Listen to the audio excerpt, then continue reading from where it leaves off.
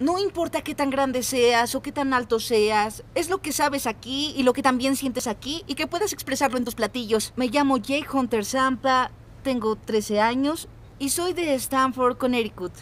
Los domingos en la tarde a mi papá le gusta preparar algo como salsa marinera, ensalada y también cangrejo a la diabla.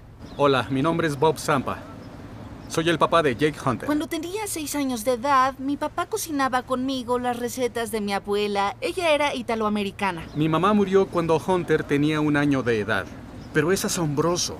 Es genial para mí que si le pido a mi hijo, oye Hunter, ¿podrías hacer la salsa picante de la abuela? Él no tiene que sacar la receta.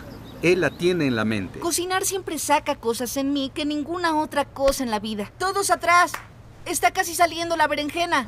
Realmente es un estudiante de las artes culinarias. Vamos a utilizar unos cuantos ajos, cebollas y jalapeños, que es un nuevo ingrediente que aprendí a usar.